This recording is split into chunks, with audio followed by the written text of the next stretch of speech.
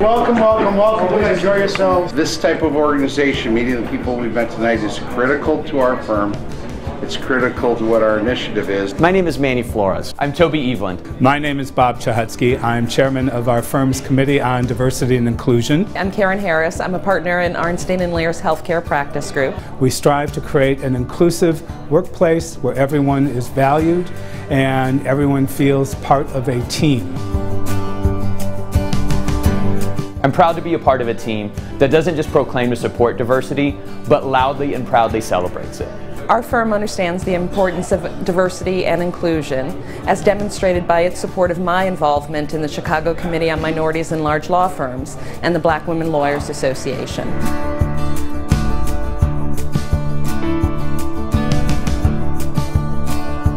Throughout my public service career, I've dedicated myself to fighting for diversity and inclusion.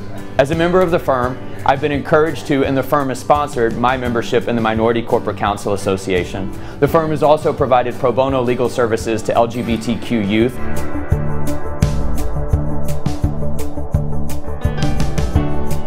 We are very proud of our firm's mission and its involvement with a variety of community efforts. I'm proud to say that I have joined a firm with a rich history and tradition, serving the state of Illinois for more than 100 years.